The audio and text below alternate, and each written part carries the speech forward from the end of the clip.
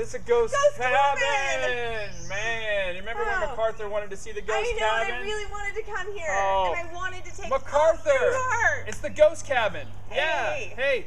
Uh, so we're just hanging out here at Camp Tecumseh. Hope you're doing well back at school. This is uh, Care Bear and Dachshund. And you know how you were studying the Earthship Code? How creatures live in a community that best meet their needs? Yeah. Well, what sort of a community does a ghost need? Well, someplace creepy. Check. Creepy. Absolutely. So this is a ghost could live in his community because it's you know a community that best meets its need of being creepy. Okay. Well, a ghost doesn't really live here, Care Bear. But if it did, what would it have for breakfast? I don't know what what would it have, Dodson? Boo berry muffins. That was a knee boo, slapper. blueberry muffins. I so, got that one. Anyway, uh, maybe you guys will get back to camp sometime. Hope you have a good rest of the school year and a great summer.